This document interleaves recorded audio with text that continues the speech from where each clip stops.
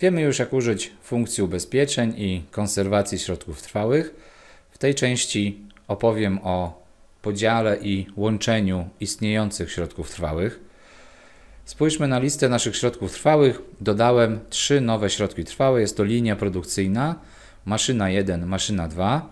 Linia produkcyjna ma wartości, ma już wartość księgową, wartość księgową 100 tysięcy, wprowadzona za pomocą dziennika i mamy oczywiście zapisy,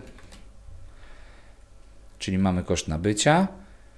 Pozostałe dwa środki trwałe są czyste, nie mają wartości, są tylko ustawione zgodnie z tym, do jakiej klasy i podklasy należą, plus oczywiście grupy księgowe. Wykonamy teraz podział środka trwałego linia produkcyjna, zakładając, że wydzielamy z linii produkcyjnej dwie maszyny. Oczywiście przed podziałem musimy sobie przygotować te dwa środki trwałe, czyli muszą one być skonfigurowane i ustalone. Wykonując dziennik podziału, podzielimy środek trwały 120 w części procentowej na dwa środki trwałe. Wybierzmy dziennik podziału środków trwałych, data księgowania.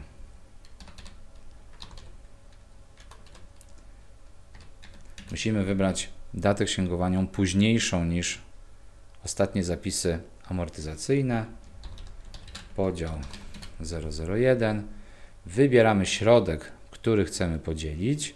Wybieramy nowy środek trwały, do którego chcemy wprowadzić wartości i wybieramy procent, jaki chcemy przeznaczyć na ten środek trwały nowy i decydujemy o, tych, o tym, jakie wartości przenosimy. Czy, po, czy przenosimy koszt nabycia, czy przenosimy amortyzację. W naszym przypadku mamy tylko koszt nabycia, także przeniesiemy tylko koszt nabycia.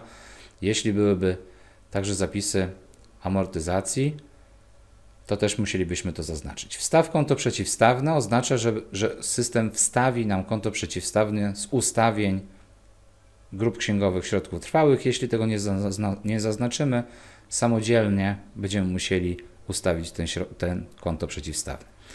Chcemy podzielić ten środek trwały na dwa, czyli musimy to zrobić w dwóch wierszach.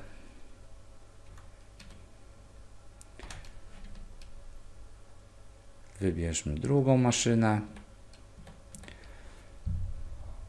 Także ją podzielimy w 30%, czyli mamy 60% wartości kosztu nabycia z tego środka trwałego linia produkcyjna rozdysponowane na dwie, na dwa dodatkowe środki trwałe. Aby potwierdzić transakcję, użyjmy funkcji podziel. System informuje, że wiersze zostały zaksięgowane. System jednocześnie wstawił zapisy do dziennika środków trwałych KG, ponieważ musi także wykonać korekty związane z księgowaniem na księdze głównej. Te wiersze także możemy zaksięgować. Użyjmy funkcji księguj. Tak. System informuje, że numer dokumentu już istnieje dla środka trwałego numer 120. Musimy zmienić. Funkcje kontroli środków trwałych nie pozwalają na podwójny zapis z tym samym typem. Kliknijmy jeszcze raz księguj. Wiersze dziennika zostały zaksięgowane. Co się zmieniło na środkach trwałych? Linia produkcyjna, wartość księgowa zmniejszyła się do 40 tysięcy. Wyksięgowane zostały wartości. Wartość księgowa każdej z maszyn osiągnęła 30 tysięcy poprzez wiersz podziału środka trwałego. Jest to typ księgowania środka trwałego koszt nabycia i dalej już system będzie naliczał zapisy amortyzacji. Dziennik podziału możemy wykorzystać także do łączenia dwóch środków trwałych w jeden. Stwórzmy sobie szybko nowy środek trwały, linia produkcyjna druga. Połączymy tutaj dwie nasze nowe maszyny. i stworzymy nowy środek trwały. Oczywiście, żeby połączyć, musimy też mieć już środek trwały przygotowany, czyli naszą nową linię produkcyjną. Znów użyjmy dziennika podziału.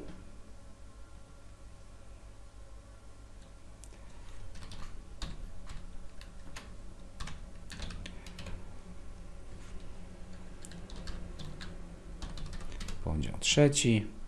W numerze środka wybieramy środek źródłowy. Nowym numerem środka będzie nowa linia produkcyjna. W 100% przenosimy wartość kosztu nabycia. Podział czwarty. Środek trwały.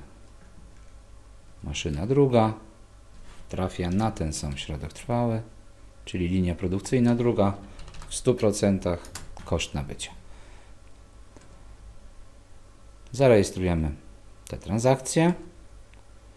Teraz przechodzimy do dziennika środków trwałych KG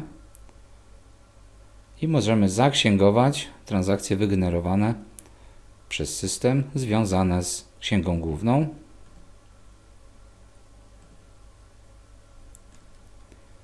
Teraz, gdy sprawdzimy środki trwałe, linia produkcyjna druga ma wartość 60 tysięcy, pochodzi z podziału z dwóch maszyn.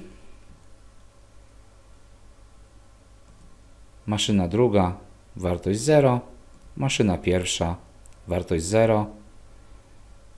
Wartości zostały przeksięgowane.